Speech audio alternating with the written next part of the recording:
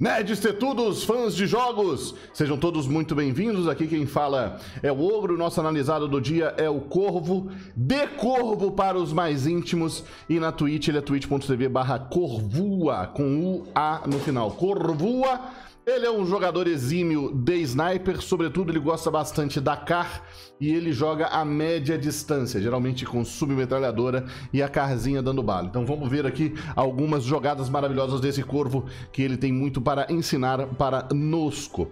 Vejam só, como aqui ele consegue dar uma balita de car, e aí ele sabe que ele não consegue confirmar esse abate, nem se ele tivesse ali um ataque aéreo, ele faz a transição para cima da casa ali pegando o mínimo de área aberta possível, joga o C4 para tentar, no mínimo, distrair os oponentes, quiçá avariá-los, né? Quiçá você quebrar um colete, fazer com que eles percam mais tempo para que você possa é, ruxar de maneira mais interessante. E aqui, se ele tivesse usado a granada de concussão nos dois que estavam ali dentro do banheiro se abraçando, seria ainda mais fenomenal, seria a play perfeita. Mas ele ali conseguiu escaralhar os dois companheiros com bastante confiança. Tem uma coisa que o Corvo faz bastante que é acertar essa bala no peito antes de começar a ruxar, tá bom? E eu vou mostrar para vocês outras situações onde ele faz o tiro no peito antes de finalizar, antes de ir para cima, né? Antes de puxar a submetralhadora e ter uma vantagem de vida, mas aqui essa jogada é maravilhosa, né? Primeiro que ele tá muito acostumado com a car e ele compensa o drop da car e a velocidade da munição da car muito legal. E aqui a gente vê uma jogada de flick, que no Warzone, que é um jogo não tão rápido quanto o multiplayer, é mais raro de se ver. O flick é o irmão do track, são duas estratégias, são duas técnicas de mira. O tracking é quando você segue o seu alvo com o mouse, geralmente você usa isso com armas automáticas, semi-automáticas, você vai atirando e vai seguindo. E o flick geralmente você usa com rifle de snipers, algumas armas semi-automáticas também, as com menor cadência de tiro, e ela é baseada em predição, tá? Você tem que prever, você tem que predizer a movimentação do seu alvo e você não espera a reação, você simplesmente vai lá com a sua memória muscular, arrasta o seu mouse rápido para o lugar onde você acha que a cabeça do, do, do alvo vai estar, provavelmente aqui, e você atira. Né?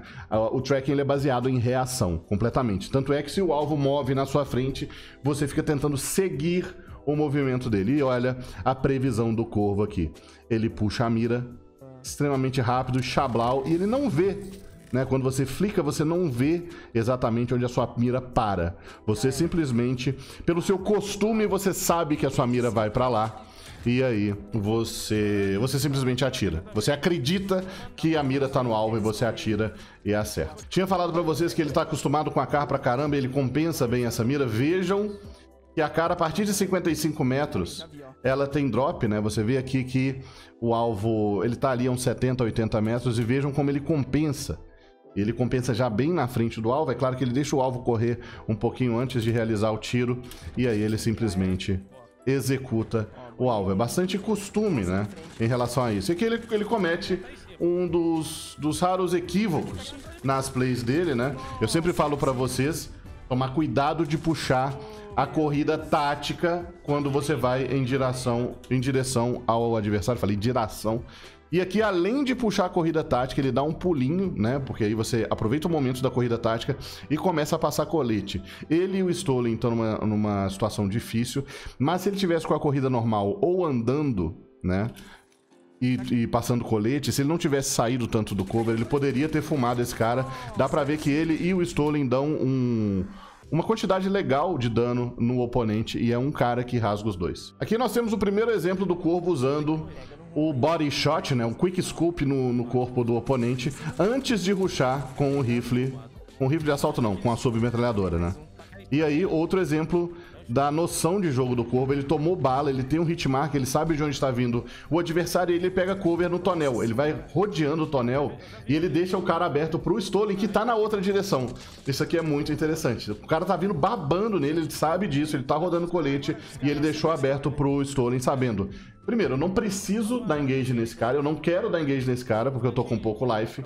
E o Stolen facilmente consegue finalizá-lo, porque tinha ali uma, um posicionamento de terreno elevado em cima da, da casinha e também tinha toda a visão para cima do cara. Então, outra jogada muito interessante. Agora, notem bem, porque o Corvo vai fazer isso a curta distância, ali 10 metros ou menos. Tá? Então tem que ser bem rápido e bastante confiante para jogar de car dessa forma. Ele tá subindo a escada, ele saca que tem um cara ali e ele puxa a car mesmo assim mesmo sabendo que está super curta distância, e dá-lhe um quick scope.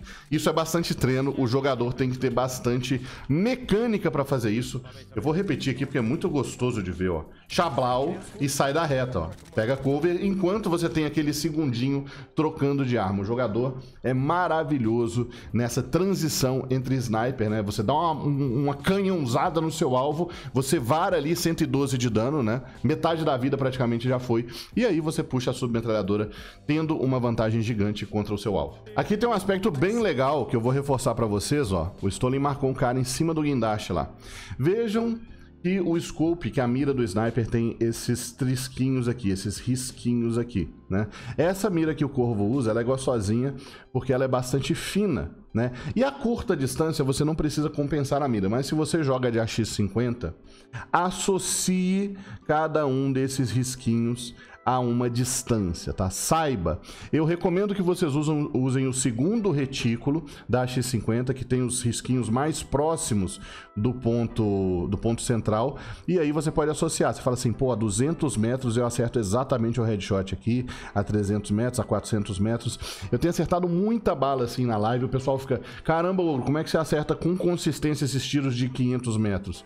Eu tô falando assim, acertar com consistência, você tem um squad, eu baixo os quatro, baixo três, os caras não sabem onde vem a bala, porque eu estou muito longe e eu já acostumei com os risquinhos da X50 de modo a compensar bem o tiro. Então façam isso, né? O Corvo tem aqui, esse não é o scope é, mais legal para você compensar tiro, mas ele usa K para curta média distância, então não importa tanto. Os vídeos do Corvo são vídeos de melhores momentos, ele corta a maioria da gameplay, né? A maioria da movimentação, até para não ficar um vídeo muito extenso, e ele coloca as melhores jogadas é, no começo da partida. Esse vídeo se chama O Sniper Americano, só que brasileiro, e nós temos aqui muita bala legal pra gente dar uma olhada de como o Corvo se comporta nas trocações, né? Aqui um body shot normalzinho, suave, mas olha só, derrubado! Ele tá bem tranquilo, ó.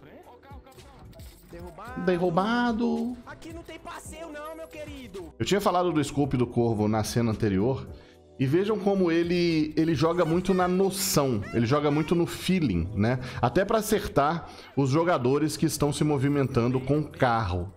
Tá? Carro é tenso de, de acertar porque tem uma, tem uma velocidade maior. Geralmente eles passam rápido, você não tem muitas chances de ficar dando bala. E você vê como o Corvo tem facilidade, essas pescadas aí no pessoal que está passeando por perto, né? E aqui, ó, vê na rua, como a cara é um sniper mais rápido e mais leve que os outros, né? A gente sabe, por exemplo, que no Warzone... Nossa, bela bala. A gente sabe que, por exemplo, no Warzone, quando você recebe bala, você está com a mira puxada e você recebe tiro, o seu recuo ele mexe muito, a sua mira mexe muito, o seu, né, a sua visada vai na lua, o que é bastante difícil né, de, de controlar se você está numa trocação de sniper. Geralmente no Warzone você não quer trocar de sniper, porque se o cara tá te acertando, você simplesmente não vai acertar ele. Então você vê como é que o corvo é leve aqui, como é que o corvo é rápido. Como é que ele é rápido? Ele simplesmente mira e atira, e se ele sentir que simplesmente não tem é, condições de continuar atirando, ele troca para sua metralhadora, né? Ó, muito rápido, pau, pau. Né? Ele toma um, um tiro ou outro, mas né? Ele não fica no meio da rajada e consegue mesmo assim derrubar. Vale lembrar que a Car foi bufada no, nos primeiros meses de Warzone. Antigamente ela não matava com tiro na cabeça, agora ela é uma força é, viável, ela é uma arma muito viável, ela é ali uma força a ser reconhecida em termos de fuzil, é de atirador, né? É que tem um fuzil de atirador e tem um fuzil de precisão, de precisão são de snipers, os de atirador são esses é, mais leves. Espero que vocês tenham gostado, o Corvo é god demais, peguei aqui as jogadas que eu achei mais interessantes para trazer um pouco da mecânica do jogador, como eu falei com vocês, é, esses vídeos de jogada, eles não têm tanto das causas da comunicação do squad, da personalidade do jogador, mas eles têm muito da mecânica, de como o jogador se aproxima nas brigas, de como ele pensa, ah, principalmente a movimentação, os covers, né, a escolha dos alvos, os tiros na cabeça, flicking, né? Muito interessante, então eu espero que vocês tenham curtido e também aprendido com essa análise. Deixe seu like, compartilhe, se inscreva no canal, lives todos os dias em twitch.tv barra jogue como um ogro. Um grande beijo do ogro, até a próxima!